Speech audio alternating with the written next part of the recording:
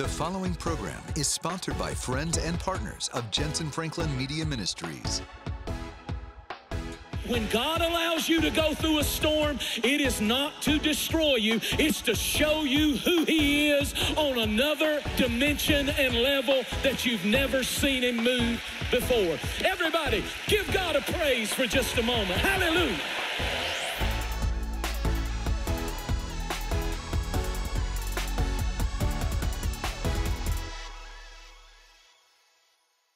هنقرأ مع بعض من سفر التكوين أصحاح اتنين وعدد سبعة. وجبل الرب الإله آدم ترابا من الأرض ونفخ في أنفه نسمة حياة فصار الإنسان نفسا حية. عاوز أتكلم النهاردة عن المكون الأول الأساسي للحصول على معجزة من الله. المكون الأول يمكن نلاقيه في هذا النص. لما قال إنه الله شكل الإنسان من التراب أو من غبار الأرض. مؤخرا عملوا تلسكوب آه، ناسا عملته وبيقدم هذا المنظار الملون أمور لم يراها. الإنسان من قبل ودي تكنولوجيا رائعة جدا وقد اكتشفوا تجمعات من المجرات وتجمعات من النجوم ما كانوش يعرفوا عنها قبل كده. والأمر المدهش في هذا هو إنه ده اللي بيقوله المقال إن هذا التلسكوب المذهل يبرز مكان وجود الغبار. وقد حددوا الآن أن المكون الرئيسي لتكوين النجوم والمجرات هو الغبار أو التراب الذي يطفو حولها. ثم كملوا المقال بيقولوا والمكون الرئيسي لتكوين النجوم وأنا بقتبس وللحياة نفسها. الآن يعتقدوا إنه كل ده جه من الغبار. بدون التراب وأنا يعني ما أعتقدش إن العلم وكلمة الله متعارضين مع بعض لكن أنا أؤمن إن الاثنين يؤكدوا الحقيقة أن في البدء كان الله. كان الانفجار العظيم حدث لما قال الله ليكن. تكوين اتنين سبعة جبل الرب الإله آدم ترابا من الأرض ثم نفخ في أنفه نسمة حياة فصار آدم نفسا حية لما رأى الله التراب قال أنا أرى حياة. عندما رأى الله التراب والغبار قال أرى إمكانية. في البداية أو في البدء خلق الله الإنسان من تراب الأرض. وبغض النظر عن حالتك بغض النظر عن تعليمك بغض النظر عن ما إذا كنت أنت غني أو فقير أو عن جنسيتك أو بغض النظر عن لون بشرتك بس بص حواليك بص اللي جنبك وقول له وأنا هقول لك حاجة تقولها له أنت مجرد تراب. كلنا خلقنا من التراب. ولما تبتدي تفكر إنك أفضل من شخص آخر أو من شيء آخر. افتكر بس إنك مجرد كومة من التراب. ولما وجدك الله ونفخ في أنفك نسمة حياة أعطاك إمكانيات عظيمة وهدف في حياتك.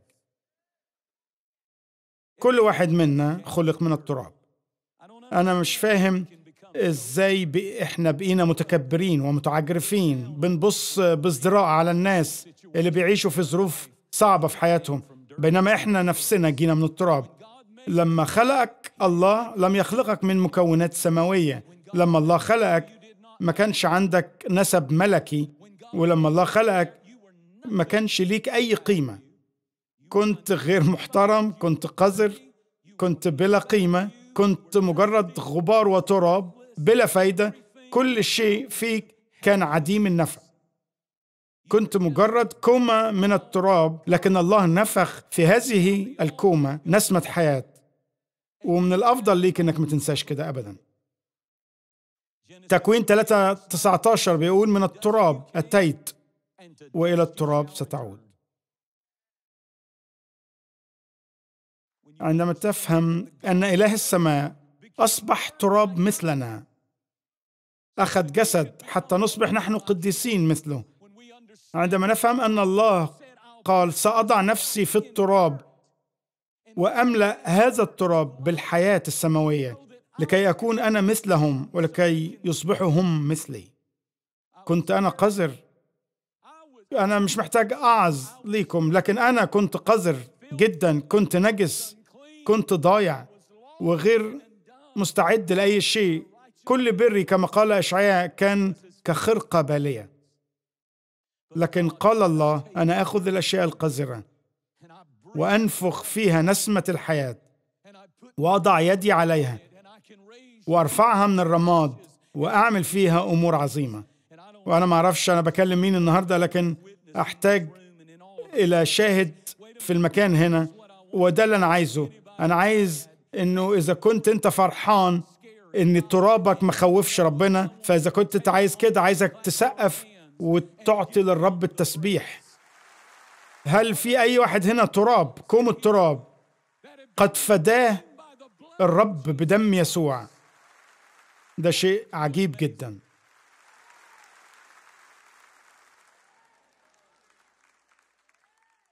إن الله يضع إيده على التراب. الله يشكل هذا التراب ويصنع هذا التراب وينفخ فيه ويحول مكان بدون فايدة ومكان قذر ومكان بلا مستقبل ويقول أنا هستخدم ده. يمكن هم يرجعوا ويتخاذلوا لكن أنا أطهره وأنا أمسحه وأجعله رمزا للنعمة. اللي أنا عايز أقوله النهاردة هو إنه إذا جبت تراب هنا فده مش وقت إنك تستسلم. دي مش كنيسة هنا عشان تقول لك ارجع لورا لكن هنا بنقول لك يسوع بيحبك يسوع يساعدك يسوع يستطيع أن يرفعك ويخلصك. خلينا نسبح الرب معا ونعطي للرب المجد.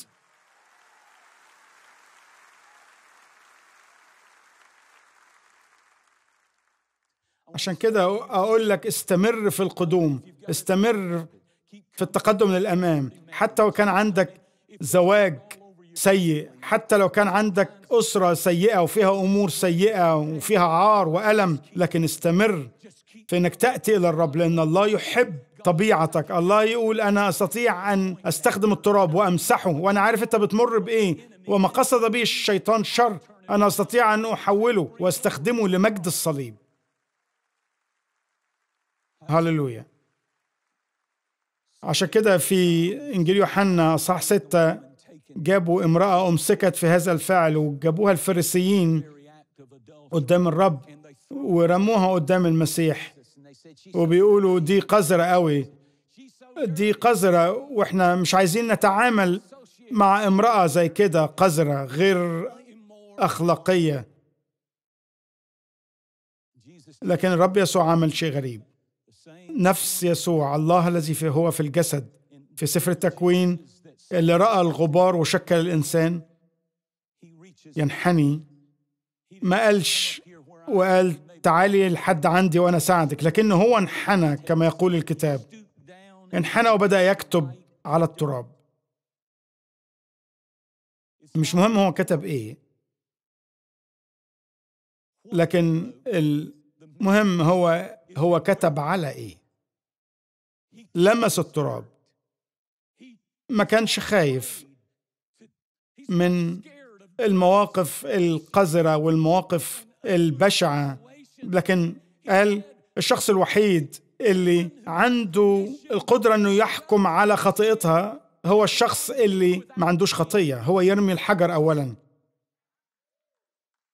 وكل واحد منهم من الأكبر إلى الأصغر رمى الحجر ومشي والوحيد اللي كان يمكنه أن يرمي الحجر كان يسوع. ولكنه بدل من هذا ابتدأ يلمس التراب بدل ما يرمي حجارة لأنه قال ولا أنا أدينك. اذهبي ولا تخطئي مرة أخرى. ابتدى يكتب على التراب. في سفر العدد أصحاح خمسة في قانون غريب في العهد القديم كانوا بيتبعوه يعني يدعى قانون الغيرة. وخلي بالكم إنه إذا اشتبه شخص بارتكاب خطيئة وأنكر فعلها. كانوا يجيبوا الشخص ده قدام الكاهن الأكبر والكاهن الأكبر كان يأخذ هذا الشخص ويقول له أنت عملت الخطية دي نعم أم لا؟ وكان يقول لا إذا كان حاسس إن هو ما عملش. وأنا مش فاهم كل الوصية دي لكن إنه نوع من الظلال. ثم يأخذ الكاهن الماء المقدس في إناء من الطين وياخذ بعض من الماء. ولاحظوا الغبار من أرض المسكن ويضعه في الماء. الله مش محتاج بس الأمور المقدسة اللي في الهيكل بل كمان يحتاج غبار الهيكل. وعندما يختلط المقدس والغبار فإنه يجلب رؤية وإعلان. إذا كنت بس عندك مجموعة من الناس في الكنيسة في المبنى ومش بيختلطوا بالقذارة اللي برضو موجودة في المبنى فمش هيحصل ابدا إعلان للحقيقة. واللي بيحصل كان الكاهن يمزج الغبار القذر في أرض المعبد بالماء المقدس وبيقول إنه لما يخلط الماء المقدس مع التراب وكان يقول المرأة أو الرجل اشربوا. وقبل ما يعمل كده بيقول الآن ألعنك. وإذا كنت لا تصدق إن هؤلاء الكهنة في العهد القديم يمكنهم وضع لعنة لكن ده اللي حصل. كان يقدروا يلعنوا. ودي كان شيء حقيقي كان شيء حقيقي. فلو شرب الشخص هذا الماء وكذب وهو في الهيكل في حضرة تابوت العهد كانت بطنه تتورم ويتسمم ويصاب بمرض شديد جدا. لكن إذا شرب الماء فإن الغبار والماء المختلطان يجلبون استعلان سواء كانوا مذنبين أو أبرياء. مش ده شيء غريب ومدهش؟ إن الغبار إذا اختلط بالماء المقدس يعلن شيء. الله يحضر ما هو مقدس في المعبد مع التراب علشان يعطي وحي وإعلان وده اللي بيقوله في العهد الجديد في بيت كبير أو كنيسة كبيرة. ليس هناك فقط أواني من الذهب وهؤلاء هم القديسين الناضجين لكن توجد أواني من الفضة مرت في النار بيعرفوا إزاي يصلوا وإزاي يقفوا أمام الرب. لكن كمان في نفس هذا البيت الكبير بيت عظيم مش بس في ذهب وفضة لكن كمان في خشب وطين وتراب. البعض للكرامة والبعض للعار لكن كلهم جزء من هذا البيت. بطريقة ما علينا نكون منفتحين للضائعين. إحنا إحنا محتاجين ناس يكونوا دايما في رحلة للبحث عن الضائعين. إحنا عايزين يكون عندنا كنيسة مفتوحة للجميع حتى وإن جه شخص متحول خليه يجي. ولو أنت مقدس مش هتقدر تقول أنا بحبك وأقدر أصلي من أجلك. إحنا محتاجين أي وكل شخص أن يأتي ليجد يسوع هنا. أنا مش عايز أي حد يهلك. ليه؟ لأن الله لا يريد هذا. لا يريد أن يهلك أحد. بيقول الكتاب المقدس في يوحنا أصحاح تسعة إن رجل اسمه بارتيماوس الأعمى كان يجلس بجانب الطريق يتسول. لا تسمح ان الإعاقة اللي عندك إنها تسميك. ليه ما كانوش يسموه بس بارتيماوس لأن العدو عايز يصنفك طول عمرك بإعاقتك. كان قد ولد أعمى عمره ما شاف. ويوم من الأيام الرب يسوع مر وصرخ وقال له ارحمني. والناس المتدينين قالوا له اسكت أنت شخص مش مهم شخص قذر. أنت متسول أعمى. هو المسيح شخص مهم هو مقدس. المقدس لا يختلط بالقذر. سيبه في حاله. وبيقول الكتاب إنه صرخ بصوت أعلى. يا يسوع ابن داوود ارحمني. أنا أشعر بالرب في هذا المكان هذا الصباح. كلمة الله حية الآن. أنا بكلم حد بيشاهدني النهارده على التلفزيون. يمكن يكون ليك حاطط المسدس على راسك وعايز تموت نفسك وبتكره نفسك لأنك مش قادر تتوقف. ولخبطت حياتك وأولادك ضاعوا لكن الرب يسوع بيقول أنا هاخد حياتك أنا أعيد حياتك أنا أشكل حياتك سأمسح حياتك سأباركك سأستخدمك وهقف من أجلك. وفي اللحظة دي الرب يسوع عمل شيء غريب. قال الأعمى للرب أنا أريد أن أرى وبيقول الكتاب إن الرب انحنى. وأخذ بعض التراب وبصق في التراب. دلوقتي لو أنا بصقت في وجهك هتكون بس بصقة لكن إذا بصق يسوع فهذا يدعى ماء مقدس. إذا بصق يسوع ما كان يفعله هو أنه كان يمزج حمضه النووي عارفين إزاي بيعرفوا الحمض النووي. الحمض النووي الذي للاهوت اختلط بالتراب ثم لطم كعكات الطين على عيون الرجل الأعمى ودي اسمها الاغتسال في المعمودية. عشان كده هو حط المادة الأصلية الموجودة في سفر التكوين حين رأى الله التراب وقال سأجعله يعيش أرى فيه قيمة أرى فيه حياة. والآن يسوع على وشك أن يجعل الرجل الذي ولد أعمى أن يرى لأول مرة في حياته. كنت أعمى ولكن الآن أرى كنت ضائع لكن الآن قد وجدت. وبيقول الرب عشان أعمل كده يجب أن أخلط الحمض النووي اللاهوتي في بصاقي بطينه بترابه وسوف يغتسل في البركة. هذه هي المعمودية بالماء. تنزل وتبتل. تنزل ضائع تنزل في طريقك للجحيم. أول مرة ولدت كان اسمك في كتاب الموت لكن المرة الثانية عندما تولد من فوق فإن اسمك يكتب في سفر الحياة. أول مرة ولدت فيها كنت خاطئ لكن المرة الثانية لما تولد في مذبح الله إيه اللي يحصل؟ يكون فيك الحمد النووي الذي لليهود ويقول الرب دمك الآن ملكي وأنا أرى أكثر من التراب أرى طفل لله العلي. أنا أحتاج شخص أنه يسبح الرب مرة أخرى وأنا على وشك الانتهاء.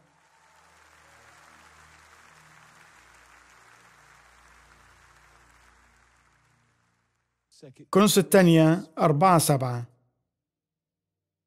لنا هذا الكنز في أواني خزفية ترابية. ليكون فضل القوة لله. وليس لنا. اللي بقوله النهارده هو إنه إذا جلبت ترابك هذا اليوم لو بطلت تلعب لعبة التدين وتعمل نفسك كنيسي ومتدين وتكون صريح قدام الله وتقول أنا آتي بترابي.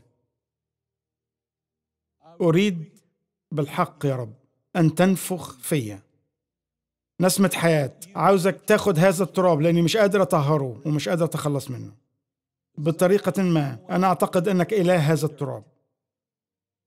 وأنا أؤمن أنك تستطيع أن تأخذ الأشياء القذرة التي حدثت في ماضية وفي حياتي وتحولها إلى مجدك. أطلب منك أنك تقف معايا في أي مكان أنت فيه بتشاهدني ومحدش يتحرك للدقايق اللي جاية. كل رأس تنحني وكل عين تغمض. إذا كنت معانا في القاعة هنا أو إذا كنت في أي مكان بتشاهدنا تقول يا سيس أنا أشعر بإلحاح أشعر بالجاذبية أشعر بتوجيه من الروح القدس. الوعظة دي ليا الرسالة دي ليا هذه الدعوة هي ليا أنا. أنا مش عايزك تخاف ومش عايزك تتردد.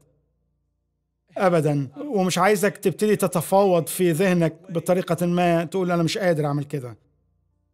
لكن الله بكل تأكيد جابك الكنيسة النهارده وبيسمعك الرسالة عشان تعرف إن في شيء في حياتك لا يستطيع أن يلمسه ولا يستطيع فدائه ولا يستطيع تطهيره.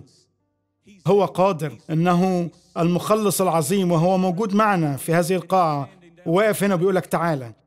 تعالوا إلي يا جميع المتعبين والثقيلي الأحمال وأنا أريحكم. وإذا كنت محتاج إلى مساعدة أنا أستطيع أن أساعدك وأريحك وأحول قذارتك إلى مجد. الأواني الخزفية تستطيع أن تحمل المجد. وناس فيهم عيوب يحملون المجد. وناس متعبين يحملون مجد الله.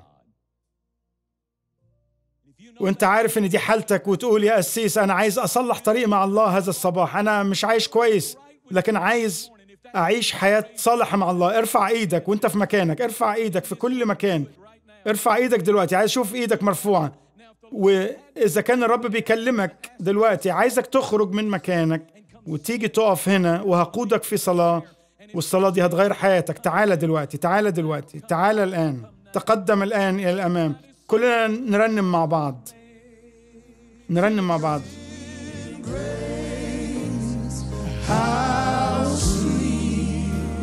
The sound that save.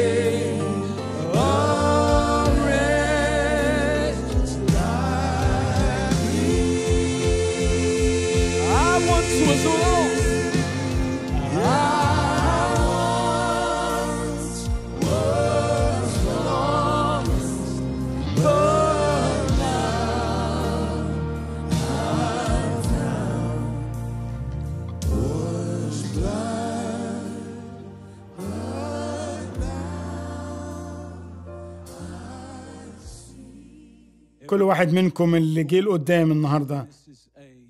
ده شيء جميل جميل جدا.